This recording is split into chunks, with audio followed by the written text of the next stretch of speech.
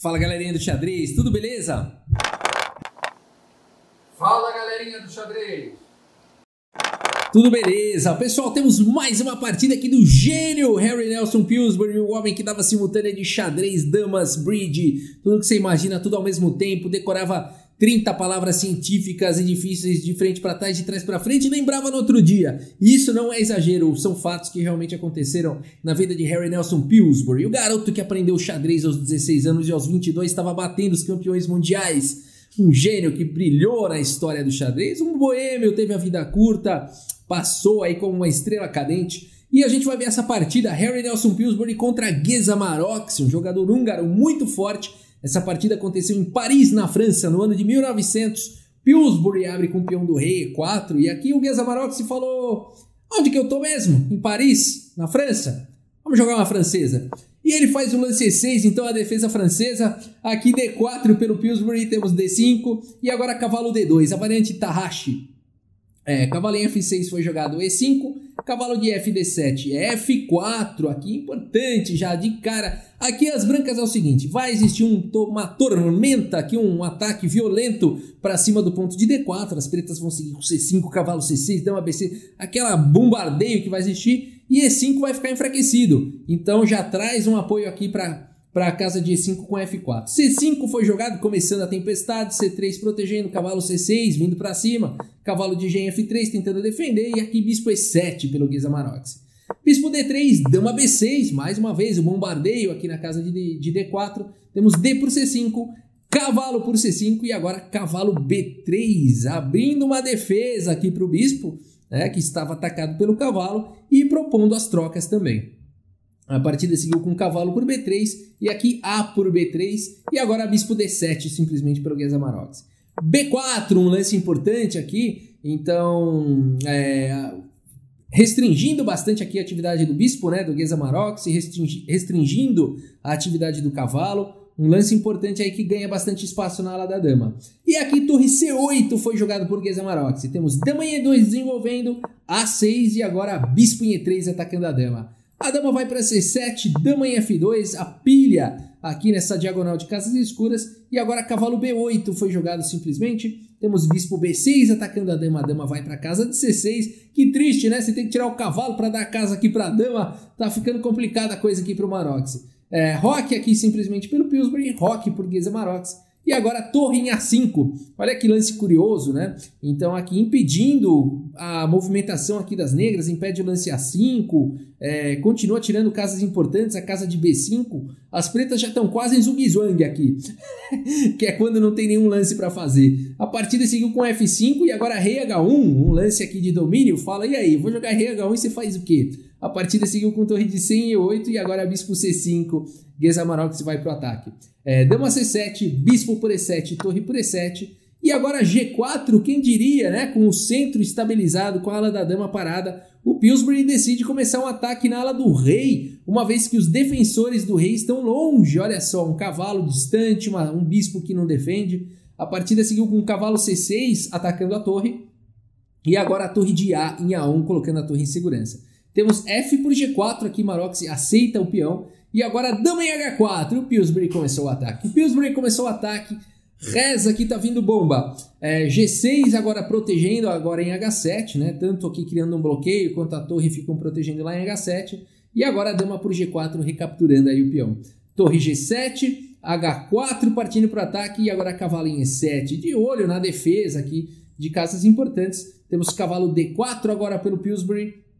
É, e o cavalo vem para F5. Bispo por F5, G por F5. E aqui o Maroc se fala: beleza, vamos atacar a dama. A dama está atacada duas vezes. Dama em H5 colocando a dama em segurança. E aqui dama D8. Temos torre G1 brigando aí pela coluna G.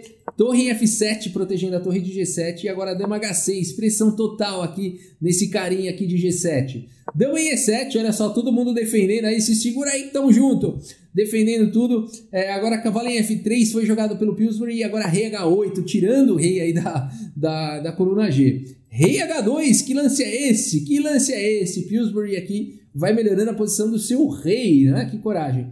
Torre F8 foi jogado e agora H5. Que estratégia maluca é essa do Pillsbury? O que, que ele tá querendo fazer? Ele esmagou a própria dama, agora a dama dele tá quase sem casa aí na posição. Jogou H5, temos torre G4 aqui por Geza Maroxi e agora cavalo G5, olha só. É, que posição complicada aqui para os dois lados, né? A partida seguiu com torre por F4, capturando um peão, e agora cavalo em F7, cheque. O que, que é isso? O que está acontecendo? Como assim cavalo F7? Tá todo mundo segurando essa casa, não estou entendendo mais nada. Esse lance aqui, ele abre um ataque descoberto aqui para F4, né? Então você pode estar se perguntando assim, poxa, então foi um erro capturar aqui em F4? Na verdade, não. Essa, a gente vai ver que a partida continua bastante interessante aqui para os dois lados. Depois de torre por F4, cavalo F7, dama por F7, dama por F4, mas agora dama por H5. As pretas têm contra-jogo aqui, cheque. O rei vem para G3 e agora dama E2. O Pillsbury vai jogando com esse rei exposto. A partida seguiu com rei H4. Que loucura! Aqui o Pillsbury realmente tem que achar lances aí para não, não levar ataque de checkmate. Rei H4 foi um recurso que ele encontrou. Temos torre C8 agora ameaçando aqui, torre C4 ganhando a dama. O que jogar? Torre de A em E1. O Pillsbury vai tentando atacar agora a dama do Maroxi. Temos dama por B2 e agora rei H3. Que loucura, né? Aprendendo a mexer com o rei quando é preciso, né? E agora é, a partida seguiu aqui com torre por C3, cheque. E o rei então é, continua onde está. Torre G3 cobrindo e aqui torre C2 ameaçando. Torre H2 checkmate. O Pillsbury tem que encontrar algum recurso aqui, segue com torre H1. Olha isso, segurando o checkmate. E agora a torre C8 foi jogada aqui por Geza. E esse lance aqui é um erro gravíssimo cometido aqui por Geza né? Nessa posição aqui, talvez, talvez aqui um lance como o Bispo B5 fizesse bastante sentido. É, continua né, buscando lances ativos aqui, mas o lance torre é, em C8 tem um problema seríssimo aqui. o Pillsbury encontra um contra-ataque aqui, um contra-chute, né? Ele segue aqui com o lance Dama H6, aqui a posição já é forte demais, né? Ameaçando aqui Dama F6 checkmate. O Maroc se defende com Dama por E5, ele tá feliz em relação a isso. Né? Acho que foi, essa foi a ideia dessa. Agora a torre está segurando a casa de F8, a dama está segurando F6, mas agora o Pillsbury vai para uma sequência fantástica aqui. Se você quiser dar pause nessa posição e encontrar aqui o arremate de Harry Nelson Pillsbury, vale a pena. tem mate em dois nessa posição, tem mate em dois. E eu espero que você tenha encontrado o lance que deve ter vindo como uma surpresa aqui, como uma pancada para o Geza Maroxi. Dama por H7, cheque, e aqui não dá mais. Rei por H7 e Rei G2. Checkmate! Olha que bonito, né? Um cheque aqui de. Como assim? Rei mexe da checkmate? O que, que é isso? É um cheque descoberto aqui, né? Checkmate não dá para cobrir, não dá para fazer nada, não dá para mexer o rei, por isso o belíssimo de um checkmate. Que partida emocionante, né? De Pillsbury contra Marox. Ele ficou se defendendo ali, rei sai, rei vem. E quem diria que seria o próprio rei aqui que iria liberar o ataque aí de checkmate, né? Torre H1 acabou sendo um lance de defesa, mas acabou sendo um lance aí, é, né? Aquela estratégia do rei aqui em H e a Torre H foi uma, um recurso defensivo e acabou sendo um recurso de checkmate no final da partida, né? Muito bonito isso. Vamos dar uma olhada no relatório do chess.com e depois voltar onde é que o Baroque se perdeu a mão, ele estava atacando tão bem, né? Vamos ver isso aí. Olha aí que jogo intenso, né? Aqui a descrição, aqui a classificação, né? Jogo intenso realmente se a gente olhar, né, altos e baixos aqui, grandes vales, né? Então, é, e a gente vê que no final, o erro de Gesamarox ali, o erro que foi fatal, né? A volta da torre. Vamos tentar entender isso daí daqui a pouco. Mas é isso, o Pillsbury foi mais preciso, levemente mais preciso, né? 92.1 contra 91.2. Melhores lances 23 para cada um, né? Lances excelentes.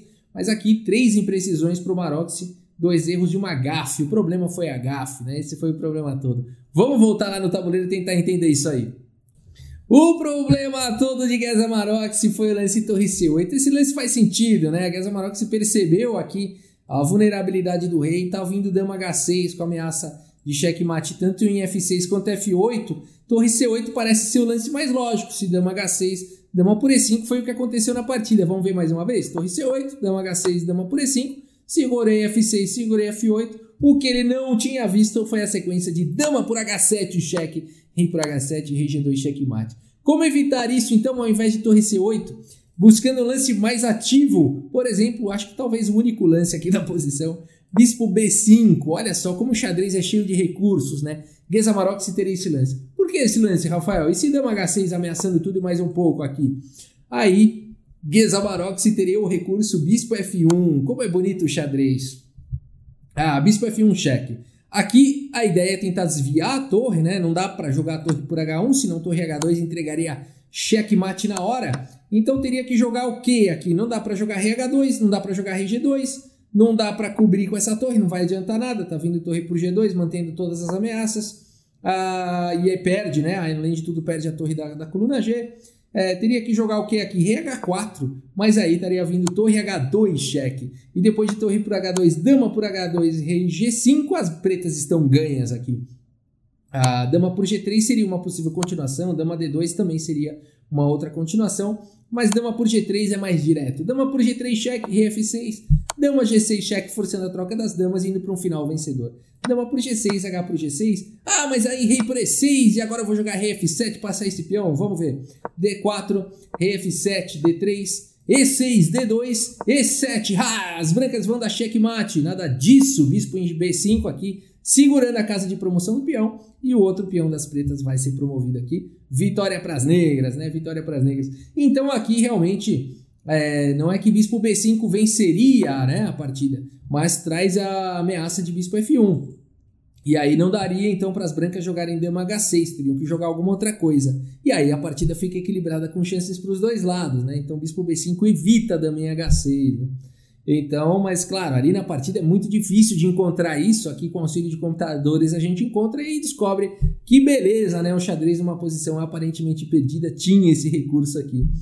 Beleza, pessoal? É isso. Se você gostou aí do vídeo, deixa sua curtida, deixa seu like. Se você gosta de vídeos de xadrez, inscreva-se no canal, ative também o sininho para ser notificado a cada vídeo novo. E é isso. Muito obrigado pela sua audiência. Um grande abraço para todos vocês e até a próxima. Valeu!